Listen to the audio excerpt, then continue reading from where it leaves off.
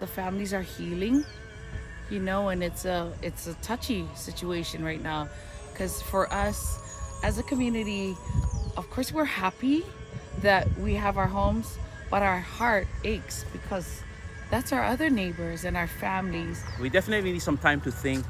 to ponder upon you know the the next uh, uh, the next couple weeks and what we need to do uh, to to uh, stay strong for the long haul.